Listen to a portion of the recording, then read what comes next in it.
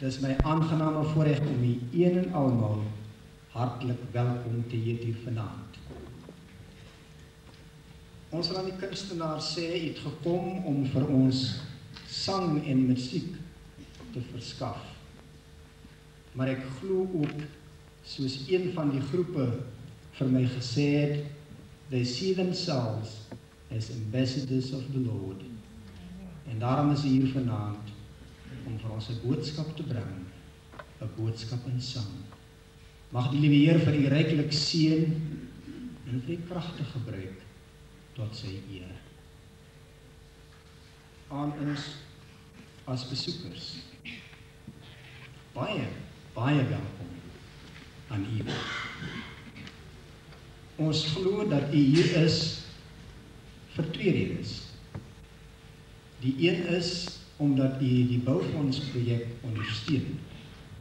Maar meer nog, u is hier want u het 'n afspraak met die Liewe Heer juis om hierdie evangelie boodskap te kom aanhoor.